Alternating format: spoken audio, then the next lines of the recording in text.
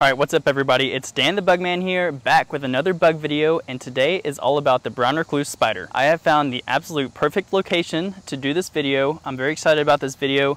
The shed behind me is, I wouldn't say infested, but it has a, a, very large population of brown recluse spiders. And for a few things about today's video, um, it's about 90 degrees, so just don't mind me if I start sweating a little bit, and it might start raining here in a second. Without further ado, let's get going. And before I completely get going with this video, I just wanted to say uh, I haven't been making a lot of videos recently. I've been super busy with work, of course. It's uh, bug season, as you can tell. There's lots of bugs out, so we're super busy, and I'm also in the process of purchasing and moving into a house, so I've been dealing with that. So just bear with me. I've got five videos lined up within the next week. Hopefully two weeks I can get all these out. Um, they are jam-packed with content and I may even be doing a stepping on bugs video. I'm going to be start doing more videos out in the field.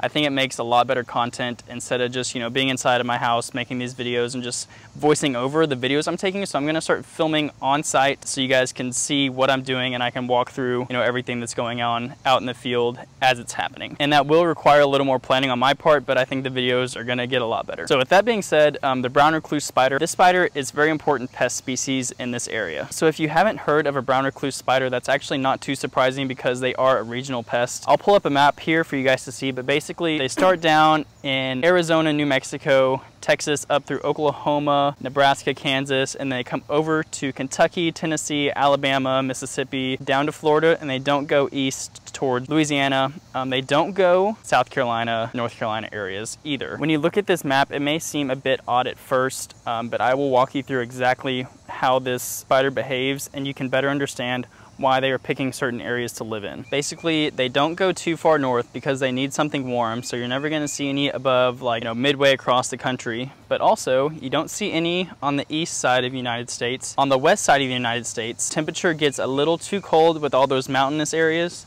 in the wintertime, so they're not able to survive that. And then on the very eastern side of the United States, it actually gets too humid for the spiders to survive because, you know, I don't know why they chose this, but these particular spiders need um, dry and they need warmth.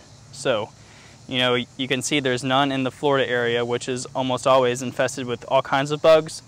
But for this spider, that's too wet for them. They need something dry. And of course, Florida area is hot, but it's too wet. And they also aren't in the desert and mountainous areas because again, that's just too dry. So why are brown recluse spider species considered such a big pest for humans? Well, there are a couple of main reasons that are unique to this spider, but all in all, I want to talk about spiders for just one second. For the most part, they're on our team. They help us catch insects. You know, they build these webs that catch insects and they keep, you know, flies and cockroaches and things like that from coming into the house. But that doesn't mean people still aren't scared of spiders. A study that I came across revealed that about 30% of people have a small case of arachnophobia, which is the fear of spiders. And simply, I think that just boils down to humans biologically are kind of afraid of like any creepy crawly things on the ground so that makes sense to me. Spiders are very very misunderstood and not all of them are really considered pests to someone like me a pest control professional but to the average homeowner you know they don't care they just want them out of the house. So i understand and brown recluse spiders are an exception for me. I also think they need to be eradicated from houses if there is an outstanding population of spiders in a house. So when I said a second ago that um, brown recluse spiders behave a little differently, so this is very true and that is why they are such a problem. But most spiders can think of like the average spider, you know, they build a web and they wait, you know, they're outside, they wait for, you know, flies and moths to fly in to the web and then they, you know, surround them with their silk and bite them and eat them and all that good stuff. And then there's other spiders like the wolf spider. Those spiders walk around on the ground. Um, they find, you know, ants or cockroaches or things and they're actively hunting. And there's also a couple other species like this that behave in this way. But these spiders, they're what we call passive hunters, okay? They build a small, a very small web around them and they wait for insects to come upon them and then whenever they do, that's when they attack. So they're not actively hunting. That behavior is very important as to why this species of spider is a pest. Just to give you guys a quick example, I'm gonna go try to catch a wolf spider um, very quickly and show you guys what they look like. Um, they're always running around, um, you know, in the yard and stuff, so it shouldn't be too hard to find one. So I'm gonna be right back and I'll show you what a wolf spider is. All right, so I did find a wolf spider, and like I said, They are very easy to find. They're active hunters, so they're always, you know, walking around looking for food. So That's why it was very easy to find one. If you see a spider in your house, especially in this area, Kentucky, that's where I'm at, but in this area, if you see a spider in your house, it's most likely a wolf spider. They're always searching, looking for food, and they always just happen to wander into houses. So I'll give you guys a little close-up look at this spider here. As you can see, um, it's very active, not happy, not so happy camper. Focus it in here and open it up. See if we can get a good picture of him. So that's a wolf spider. To me, a wolf spider and a brown recluse spider are actually pretty easy to distinguish between each other, but to the average person, that probably does look pretty similar to a brown recluse. So we'll just get him real close there. Um, but yeah, he's doing a good, good pose for the camera. 99% of spider species are poisonous. Okay, that's that's just how they how they stun their prey and that's how they eat. So just because they are poisonous, that doesn't mean that they can bite humans. Okay, a lot of spiders, their fangs are not actually strong enough to pierce through human skin. So that's an issue, right? If you can't get through the skin, then there's no point, there's no, you know, harm to humans because the spiders are meant to bite, you know, insects which are, you know, very small. So since these spiders stay in one spot and don't move a lot, that means it's hard for people like us, pest control professionals, to truly treat this spider as it needs to be treated. They're kind of like bed bugs. If you don't spray them directly, then they're not going to come in contact with the chemical because they don't travel, you know, they're not going to travel through spots where we sprayed. So you have to hit them exactly where they live in order to get results. Studies have shown they've actually found like average size, you know, two, 3,000 square foot houses having up to 2,000 individual brown recluse spiders inside a house. That's like one spider per square foot, which is pretty crazy to me.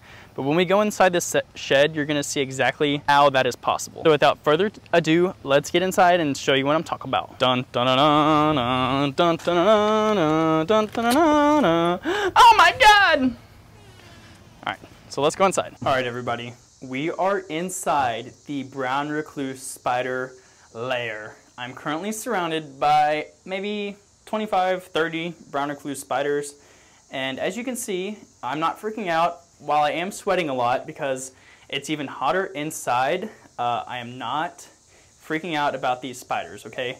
The reason I do these videos is just to educate people. I'm not trying to freak you out about these spiders. You know, I'm standing here with a bunch of spiders and just like most animals and things in life. Like, no one's trying to get you. Like, they're not out trying to attack humans. They're just living their life. So if you guys are ever moving into a house that has sat empty for a very long time, I mean, even a couple months, like a month or two, I would recommend just getting a general pest control spray just to get rid of any, you know, spiders or ants or anything like that. So this building is no exception. As I talked about earlier, they like dry and they like hot. And I can attest it's definitely hot in here and it's pretty humid outside, but it's not on the ground. This shed, it's lifted off the ground, so there is not a ton of moisture coming in. If you haven't figured this out yet, this isn't a house, this is a shed. But this area, um, it does remind you of something in a house. Any guesses? It's an attic, right? So Brown recluse spiders are almost always populating an attic when they're in a house. Let's spotlight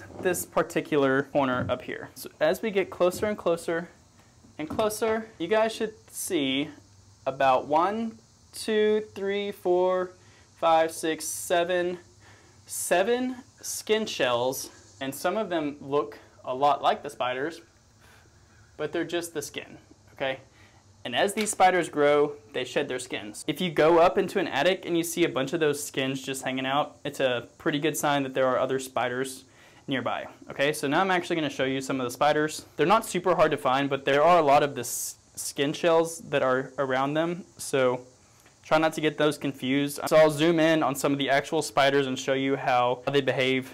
Um, as you can see from some of these, they don't move much at all. There's one chilling right there in the corner.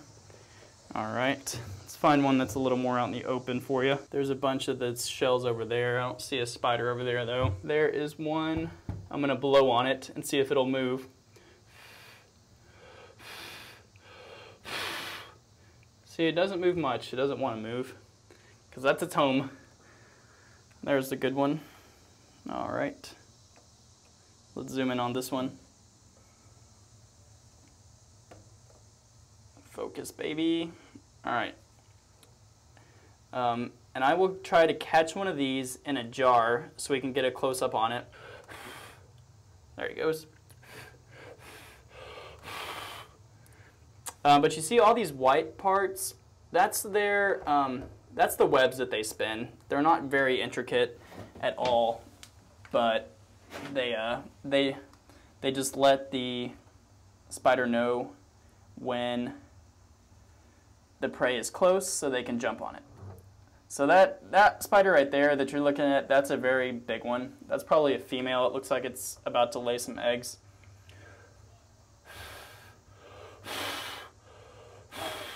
Yeah, they don't move much, like I said. I'm sure there's one behind there. That's a pretty dense web. That one's probably been there a while. Let's see what else we can find. There's one in the corner. Just ran into the just ran into that crack. They don't like this light either, so I'm sure that's kind of making them go away. Oh, there's a nice one. Now that's a big one also.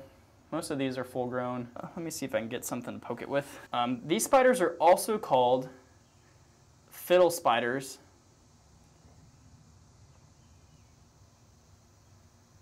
Yeah, they're pretty quick. All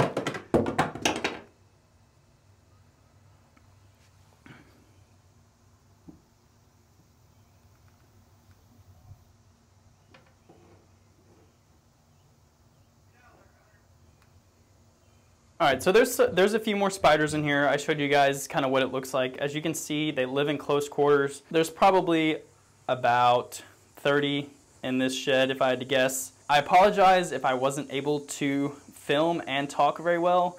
They are hard, it is hard to do when you're like looking for the spiders and you know, again, trying to talk about them and process my thoughts and all these facts I know about them, but I'm gonna catch one in a little one of those little containers and show you guys why they're called fiddle spiders, okay? So give me one second. We're gonna see if we can't catch one.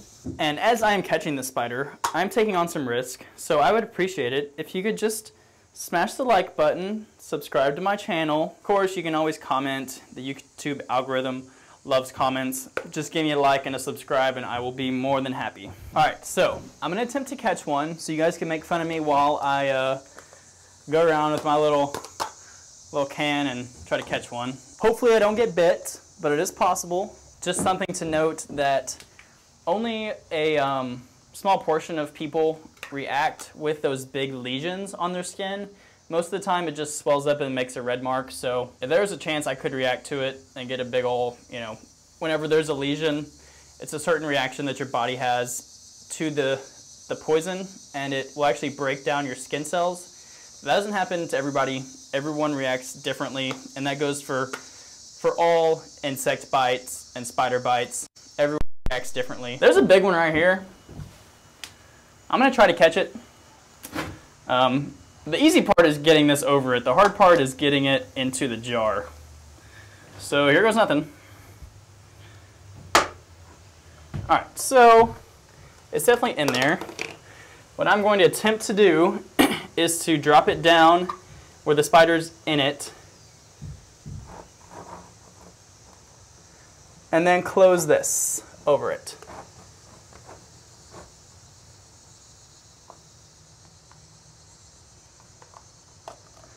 Boom! Easy like Sunday morning.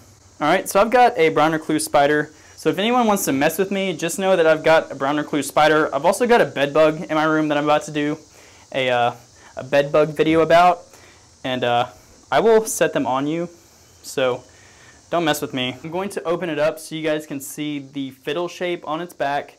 You can see the general shape of the spiders because I do believe they are pretty easy to identify just based on their body shape and their leg length. That's just me. I've been doing this a while, but you know, if you can identify what these look like, you will be, you know, better set to identify them if they are in your home. There it is. It's not moving much, but if you get really close, very, very close, even closer, you can see there's a fiddle shape on the front thorax of the spider, right next to its head, right in the middle where all of its legs meet up. Okay, that dark area, the um, from this angle, the fiddle is upside down. So it's just like a guitar shape. And that's why they're called fiddle spiders. They cannot play the fiddle, as far as I know, but they might be able to. If there was a spider-sized fiddle, they might be able to play, but I doubt it. So this guy, uh, I'm just gonna throw him outside. Yeah. All right, everybody. So now that we've caught a spider and identified all these spiders in here as brown recluse, I'm going to do what I do best, and that is to kill them. I am a pest control professional, and I'm to use just our general insecticide in a B&G can sprayer to spray the walls of this shed. And I'm quite frankly, I'm pretty curious as to how effective this treatment is going to be Whenever we do a brown recluse treatment for a customer, there, there are many things that we do besides just this spray. But I believe that this spray, this is the general chemical that we use for all of our inside sprays. I believe that it will kill these spiders, but there are many theories that that is not true. A lot of people think that these spiders are much more hardy than the average spider or insect. And that may be true. They are you know, one of the larger spider species and they are, you know, pretty unique. But I think personally that the chemical that I spray is going to kill them. So I am going to go get my sprayer and I'm going to spray inside the walls. All right, everybody. So I've got my sprayer. This is what we call the B&G, B&G. Um, like I said, it's got our general insecticide in it that we use for all of our inside sprays. All right, so I'm just going to pump it up here. Then I'm just going to spray the walls. Now that I've got that done, I'm just going to summarize things up as I'm spraying. Um, in general, like all insects, these spiders are not out to get you. You could live in a house with hundreds of brown recluse spiders your whole life and never have any issues with them. Oh, that was a big one over there. So that's good, right? But I wouldn't want to take chances. These are some of the few pests that you don't want to really risk it with. And it's also something you don't want to try to do yourself. I do a lot of things myself, so I'm never going to tell you not to try to do it yourself, but there's a lot that goes into a brown recluse treatment, but I would recommend getting some kind of treatment done if you think there are brown recluse in your house. And as always, you know, just let me know if you have any questions. Um, like, subscribe, comment, any questions you have. I will answer any questions about brown recluse spiders that you have. And I'm to finish up killing these spiders, hopefully. And until then, I'll see you guys next time. So thanks for watching. Oh my gosh, there were probably like 10 spiders that just ran out from under there. All right, everybody, so we are um, 24 hours post-treatment of the shed, and I did get a haircut, um, but we've got some good news and bad news about the treatment. Um, the good news is for me that the chemical looks like it killed most of the spiders. Um, there are still some stragglers, but those are the ones I believe that I just missed and didn't spray their particular, you know, corner. Um, and then the bad news is there are the dead spiders. That one looks alive, but it is dead. Um, we can get a little closer view so you can really see the fiddle shape on their back, especially that one in the middle. And then see how long and skinny their legs are.